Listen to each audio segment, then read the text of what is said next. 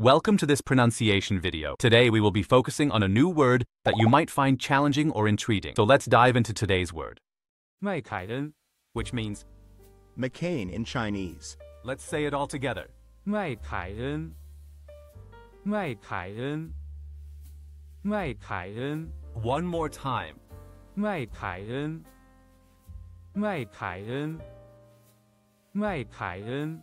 Thank you for joining us on this adventure in pronunciation. Remember, language is a journey, not a destination. Keep exploring, experimenting, and expanding your linguistic horizons. We'll see you next time.